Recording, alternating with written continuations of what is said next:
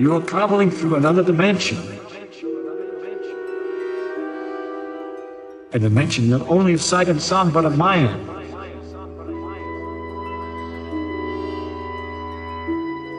A journey into the wondrous realm of imagination.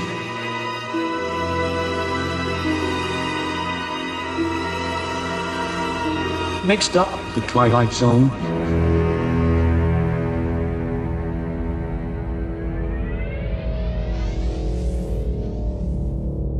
On May 24, 2023, the European Space Agency's ExoMars Trace Gas Orbiter, in orbit around Mars, have transmitted an encoded message to Earth to simulate receiving a signal from extraterrestrial intelligence. It is the beginning of an interdisciplinary project by meteor artist Daniela De Paulis. In collaboration with the SETI Institute, the European Space Agency, the Green Bank Observatory, and the Italian National Institute for Astrophysics. The name of the project is A Sign in Space. The project consists in transmitting a simulated extraterrestrial message as part of a live performance, using an ESA spacecraft as celestial source. The objective of the project is to involve the worldwide search for extraterrestrial intelligence by the international community and professionals from different scientific backgrounds and fields. But most of all, the main goal is to decode the message hidden in the broadcasted radio signal after a few weeks and the international collaboration of participants at the project's Discord channel, the community agreed that parts of the message had been extracted. The message can be downloaded in raw binary form and plain text bits at the project's GitHub page. This is the visual representation of the partially decoded message. My attempts to decode the message were based on using heavily modified models and customized datasets in the 1.5 version of text-to-image engine Stable Diffusion.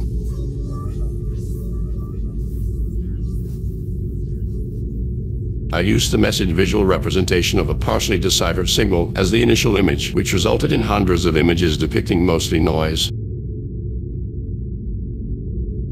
After a few days, I changed the method of image generation and started to combine layering result images in various opacity and color intensity parameters using Inkscape. And finally, I created sets of image grids depicting processed and overlapping compilations of the initial image. I did not decode the message, but after a few thousands of image generation sessions in various configurations, my customized diffusers started to find patterns and some kind of visual logic in those image grids depicting multiplications of baseline initial image heavily processed with my modified models and data sets. This is a collection of those images.